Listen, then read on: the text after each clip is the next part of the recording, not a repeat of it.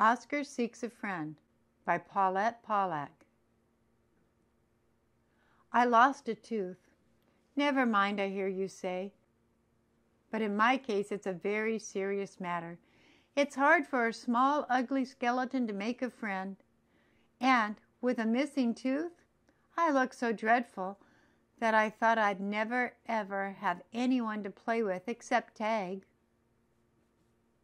So one day, when I saw a little girl burying a tooth in the ground, I stopped dead. Um, I coughed so I wouldn't give her a fright. I asked if she could kindly give me her tooth to make me look less scary. But all she said was that she needed it too, because if you bury a tooth, your dreams will come true.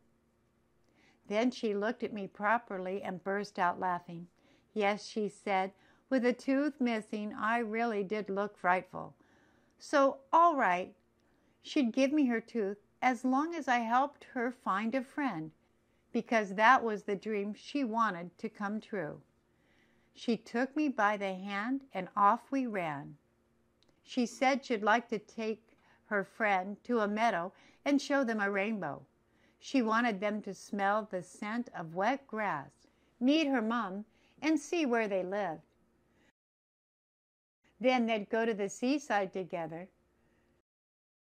Then she'd tell her friend about the mystery island she would sail to one day.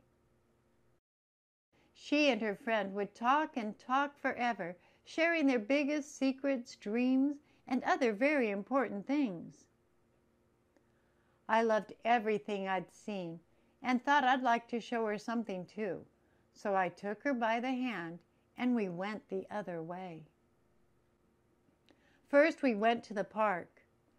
There we listened to music and strolled about in all the places I love best. Then I showed her a huge library full of books I hadn't yet had time to read. Later, we went to look at butterflies sleeping among the branches of trees. After that, it was time for her to go home. She said she was pleased to have met me. She wanted to know if we could meet again the next day.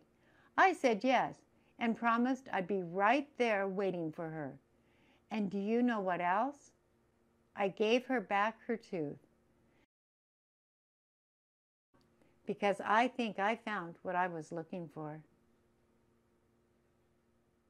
The end.